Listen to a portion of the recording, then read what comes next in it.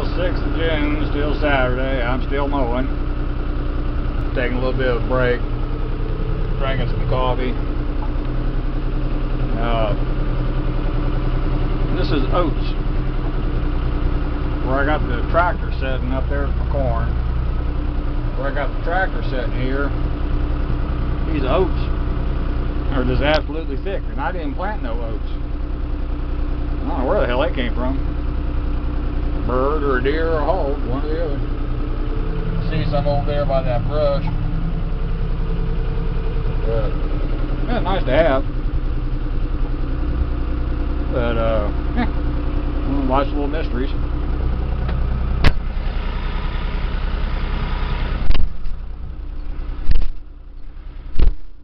Taking a break, cleaned off the grill on the front of the tractor.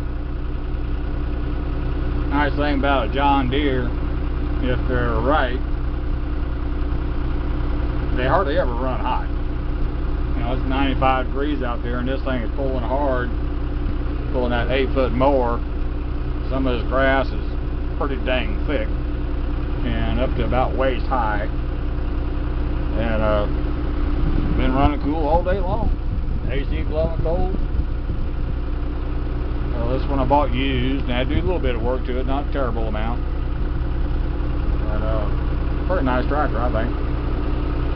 Uh, 5320, I believe it's 58 horsepower. I'd have to look it up.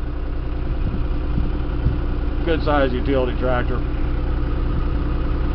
Yeah, uh, I'm pretty pleased with it. I'm getting a real nice breeze today, so it's pollinating my corn real good. Uh, the right kind of cloud for rain, but just no rain. I did notice when I was sitting in the tractor seat looking down my pinto bean rows, I can see more bean. I'm up oh, high level from the tractor seat's probably eight feet. So they're there. So anyway, Connie's bringing me a sandwich, so let me eat my sandwich and get back to mowing. Thank you.